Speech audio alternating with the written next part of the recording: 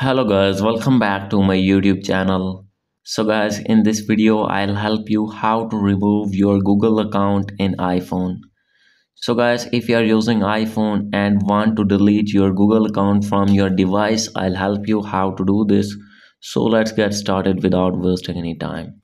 So guys there are two ways to delete your google account so first one is you have to open your settings on your iphone or ios device and after this you need to scroll it down.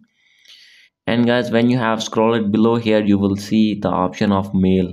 You have to click on your mail tab and guys you need to click on here the option of accounts and guys now you can select here the option of gmail. You need to click on this one. And guys below here you will the option of delete.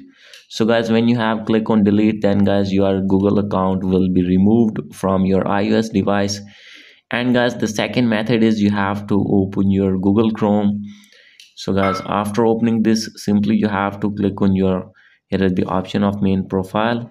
And guys you need to scroll it below so guys here you can see the option of google chrome. So guys here you will see only update so guys if you want to remove you need to click on your main profile icon and click it again.